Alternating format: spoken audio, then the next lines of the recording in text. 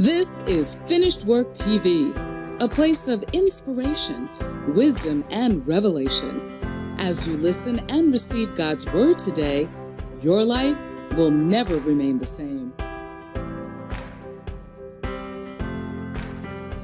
Miracle of multiplication. Miracle of multiplication. Is it possible that the things we have can multiply? The answer is yes. Multiplication occurs in the atmosphere of faith. I said multiplication occurs in the atmosphere of faith. It is in the atmosphere of faith that multiplication can happen. Faith atmosphere is the atmosphere where we can experience miraculous. I said faith atmosphere is the atmosphere where we can experience the miraculous. If you want to see the miraculous, you, you need to create an atmosphere of faith, not an atmosphere of worry, not an atmosphere of doubt, not an atmosphere of unbelief, but an atmosphere of faith. And what does it take to create an atmosphere of faith? Number one, hearing what God is saying. Hearing what God is saying. Number two, believe what God is saying. Number three, declare what God have said. If you're going to create an atmosphere of faith, it begins with hearing what God is saying. Hearing what God is saying. Romans 10, 17. So then faith cometh by hearing. Hearing what God is saying. It's not just what is happening, but hearing what God is saying. Not just what you feel. You know, because sometimes we allow our feeling to distract us from believing in our righteousness. Our righteousness is not based on our feeling. Righteousness is not a feeling. Oh, I didn't feel good today. Maybe God have left me. God doesn't leave you. He said, I will not leave you nor forsake you. I will be with you till the end of the world. So maybe you, you did something you shouldn't have done, or you said something you shouldn't have said, and then the enemy brings guilt and condemnation to make you believe that God is no longer with you. No, God is with you. God is not abandoning you for shortcoming. God is not leaving you because you missed the mark. No, he's not. We don't do that to our children. Let's take, for instance, your baby wets his clothes. You know, can you just say, oh, please, I'm throwing this baby away. The police will arrest you. The police will say, you, you got to wash that baby, take care of that baby. But can I say this to you? We'll create an atmosphere of faith by hearing what God is saying. Number two, by believing what God has said. I can hear what God is saying, but never believe what God has said. I can hear what God is saying, but never believe what God has said. Believing is what leads to receiving. I cannot truly receive when I don't believe. I cannot receive when I don't believe. I have to believe before I can receive. I have to believe before I can receive. So if I'm going to be a receiver, I have to first be a believer. So to create an atmosphere of faith, we'll need to hear the word of God. Number two, we need to believe the word of God. And number three, we have to declare the word of God. It is so important that hearing you know, do you know that your faith can go from here to here? Yes, yes. Anybody? Anybody, doesn't matter who you are. You can be here in faith this week. Watch my hands. This is where you are in faith this week, last week. And someone's faith can drop to this place. And I'll tell you the reason for that.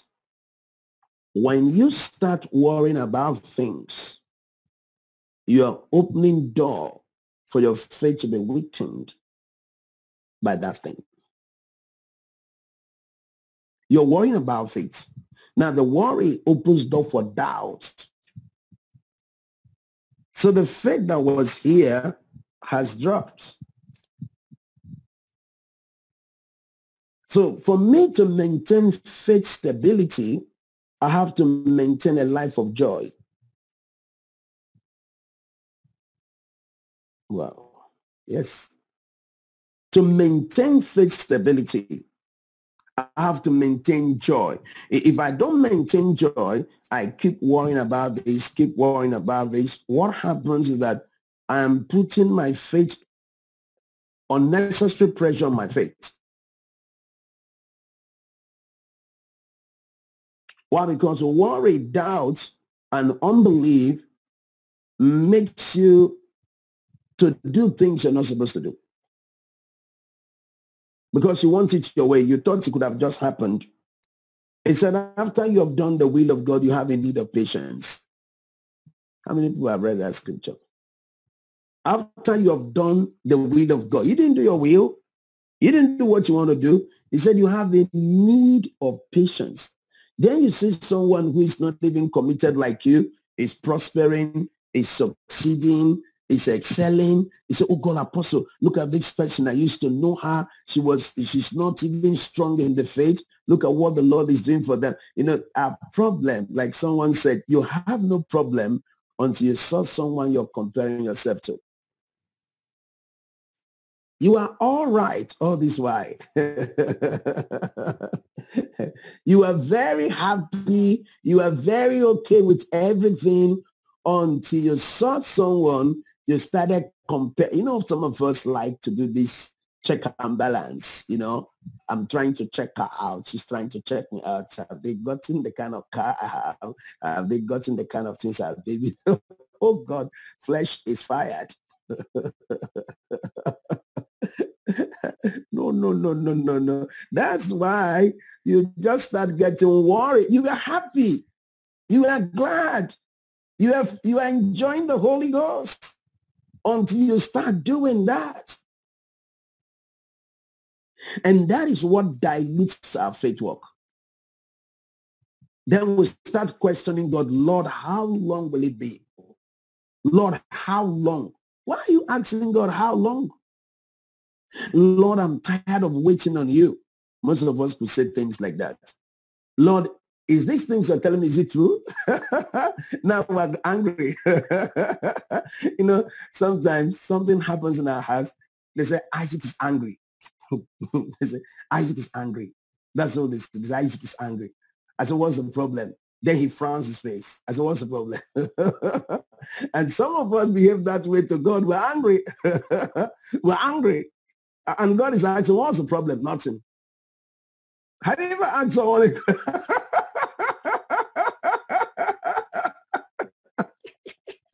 Have you ever been in a situation where you are asking someone, something happened, they said nothing. so why all of this show? If it's nothing, why not be happy? He said nothing. There is something. Something is going on. You can't say nothing. You don't want to be frank. You don't want to be true to the whole situation. Nothing. Everything is okay. It's not okay. Express it and feel free. Release it. Release it. Have you seen people telling you nothing, but their attitude is opposite? Their attitude just change. Their behavior just change. Things just change. Oh my God. What is going on? Nothing. They're angry. The best way they can communicate their anger is to say nothing. Pray for them. Pray for them. So, so our faith sometimes can just uh, we, we can put ourselves in that situation where we become so frustrated. And often I say to people that frustration is a choice. You know what frustrates you can someone else is not frustrated. You know, someone sent me a text this afternoon and said, uh, some people are criticizing you that you preach very long.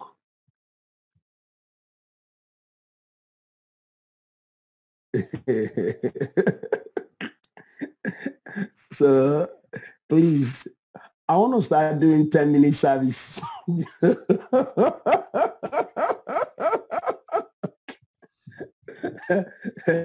That's I'm praying to God to help me stop. I need to stop. you know, I think everybody's like me. they said, they're sending me text that they say you preach too long. So I'm uh, maybe after this service, I mean, there's uh, all of you will just pray for me. God help apostle. So I'm trying to preach for 10 minutes, but I don't know how I'm going to do that. Wow. Hallelujah. Glory be to God. When you're hungry for God, you want more.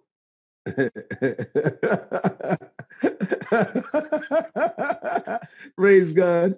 When when you're oh God, you want more. But I know everybody is not that hungry. Everybody's not that hungry.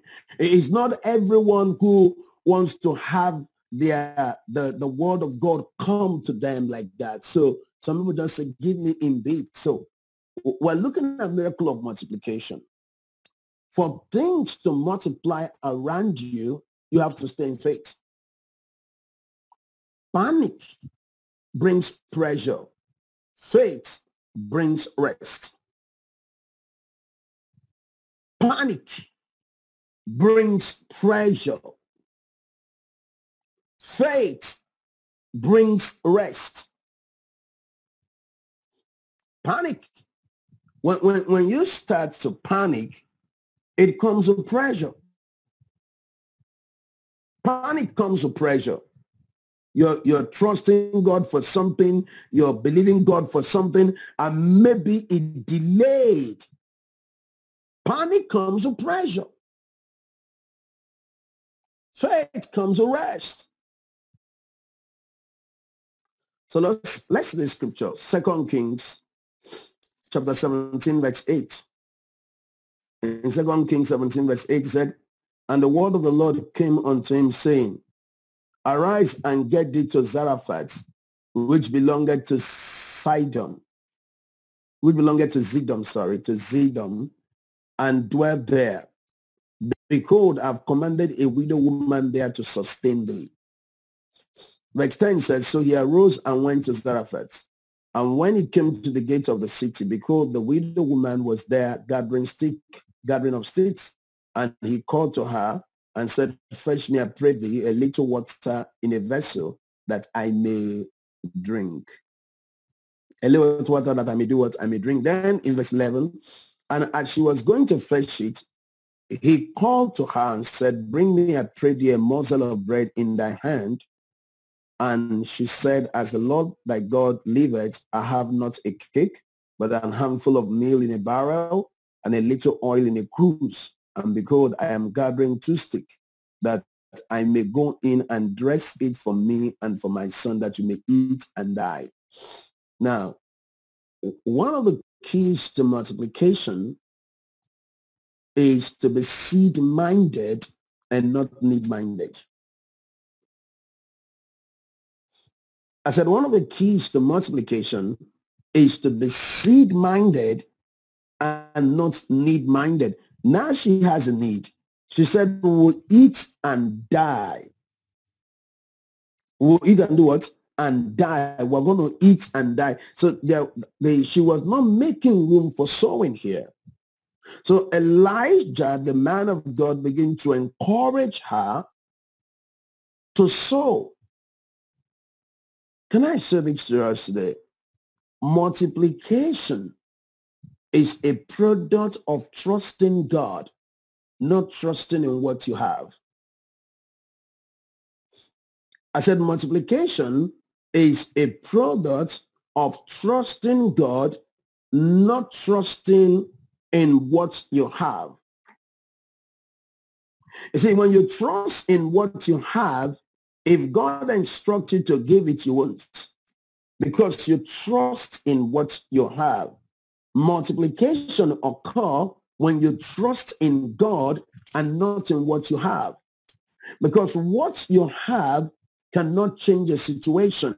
What would change the situation is to trust God's instruction and his instruction will change the situation. When you do that instruction, his instruction will change the situation. So here, Elijah said to her in verse 13, 1 Kings 17, verse 13, and Elijah said unto her, Fear not, go and do as thou hast said, but make thereof a little cake first, and bring it unto me, and after make for thee and for thy son. Another key to multiplication is putting God first, not your need. Putting God first is a strategic key in experiencing multiplication. If God does not come first, you cannot break forth. If I put God first, I'm going to make progress. Putting God first in a position where greater things are going to happen. So here we saw that she was instructed to give first. If what she have is going to multiply, she need to put God first, not her need. Whenever you put your need first, you rob yourself of the opportunity of experiencing supernatural help. Whenever you put your need first, you rob yourself of the opportunity of experiencing supernatural help.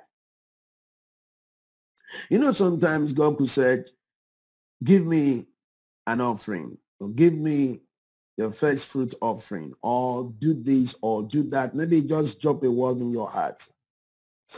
There are many things that can make us reason our way out of it. Obeying God will require you to do it quickly. Once we delay, most times we miss out. It has happened to me. Okay, when this money come, okay, when this come, so I was just thinking, and I just missed the moment. Elijah instructed her to give first. Things start multiplying when God becomes your ultimate priority.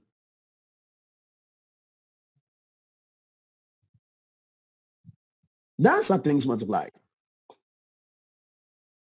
If God is not your ultimate priority, it will be impossible for things to multiply around you. She was in a fixed situation. She was preparing the meal to eat and die. So there is nothing more to live for. Then the prophet came and said, share with me. That doesn't make sense. But your way out of every situation is to exalt God's word above the situation. That's a rhema word for somebody.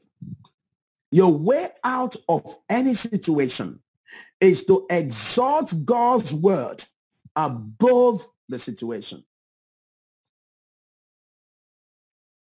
Your way out of any situation is to exalt God's word above the situation. So no matter what you're dealing with right now, you got to find out what God is saying. If you don't find out what God is saying, offense may distract you. So here it said in verse 11, it said, and she said she was going to fetch it. And he called to her and said, bring me, I pray thee, a morsel of bread in thy hand. Verse 12, and she said, as the Lord thy God liveth, I have not a cake, but an handful of meal in a barrel and a little oil in a cruse. And behold, I am gathering two sticks that I may go in and dress it for me and for my son, that you may eat and uh, may eat it and die. A lot of people are here. A lot of people are in a place where they want to eat and die. This is a mentality of poverty. I want to eat and die. There is no hope. There is no vision. The coming of Elijah brought direction to her life and her family. The, the, can I say this to you? Partnership is one of the ways you sustain your provision. Yes. Partnership is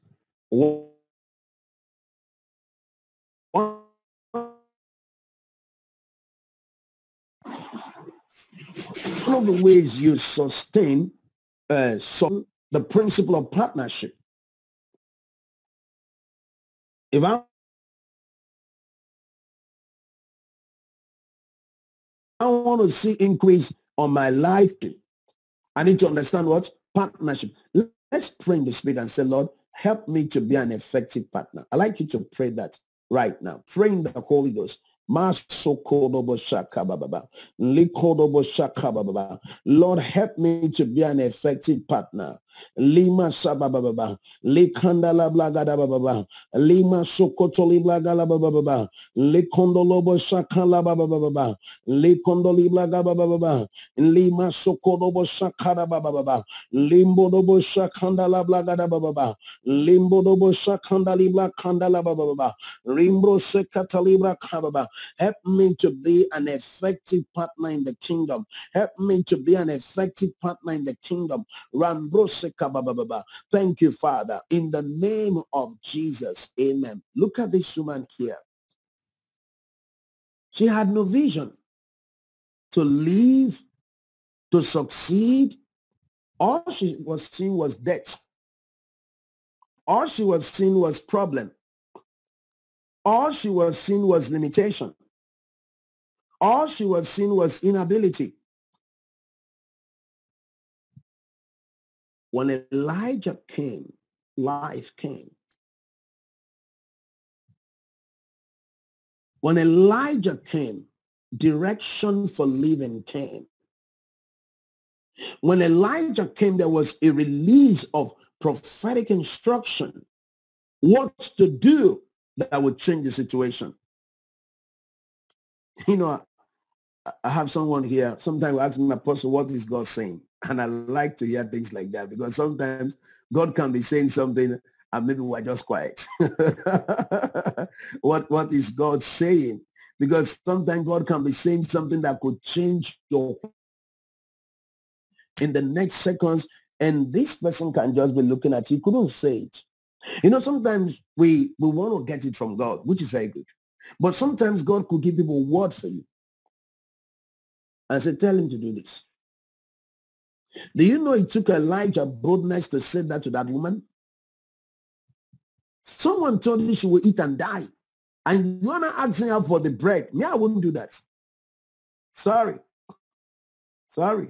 you know what it means to go share your meal with the going to the widow to share her meal and said, can you give me first? You know, in the first place, I may think that People will think I'm greedy. People will think I'm funny. How can you go to the widow and ask her for bread for something that is not the right thing to do? Listen to this. We have to be bold to do what is right, even when it's not convenient for our flesh. Wow, that's a word.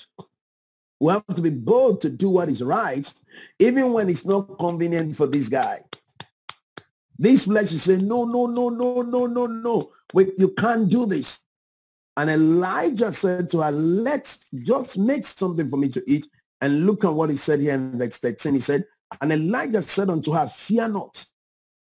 Fear is one of the reasons we compromise principles. Fear is the reason why we don't step out and do what would change our life. We're afraid that it will not work. We're afraid it won't go through. We're afraid it's not going to happen for me. And the spirit of fear keeps you away from receiving. He said, fear not, go and do as thou hast said, but make me thereof a little cake first. Wow. And bring it unto me, and after make for thee and for thy son. Let me say this to us. Whenever we put God first, we're investing into a future that cannot be destroyed. Whenever we put God first, we're investing into a future that cannot be destroyed. Whenever we put God first, we're empowering our destiny. One of the ways you empower your destiny, one of the ways you succeed in life is to put God first. Multiplication happens in the atmosphere where people put God first. Things will start increasing. Business opportunity, business ideas, things will start happening. When you put God first, you are taking a step in the direction of multiplication. So create a faith atmosphere by hearing what God is saying. Number two, by believing what God is saying. And number three, by declaring what God is saying. And don't forget that putting God first is an investment. And sometimes it may not be convenient, but it's worth And Elijah said to her, give me first to eat. That suggests putting God first. It is not convenient, but it's going to bring my change. And then Elijah began to prophesy, begin to bring forth word of wisdom of what God will do. And something amazing begin to break out in that situation. Can I say this to you?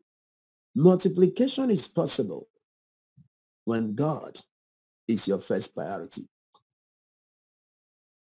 Exalting your need will take you off the will of God. Exalting God will help you to resolve your needs. And I want you to trust God. Hearing what he's saying, believing what he's saying, declaring what he's saying. I have an expectation. That's the last point I'm going to close. I will say that then I'll talk about Thanksgiving. Maybe the next 10 minutes I'll be true. Expectation. Do you have an expectation that something good is about to happen? Worry is not expectation. Those who worry don't expect. But when you have an expectation, big things begin to happen.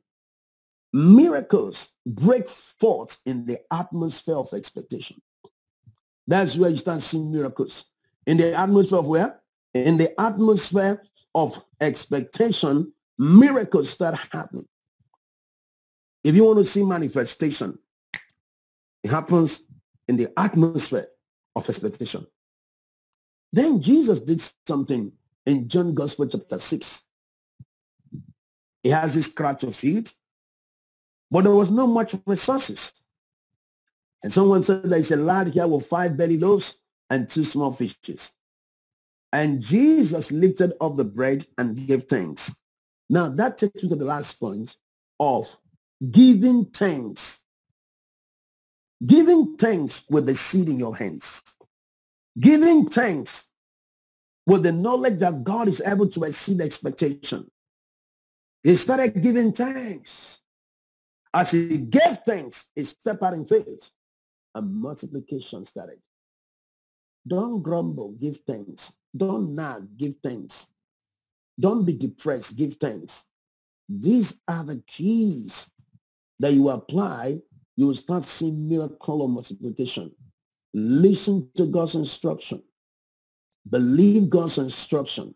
Allow his word to decide what you believe. And I believe that thanksgiving is the key to breaking limitations. Let's pray.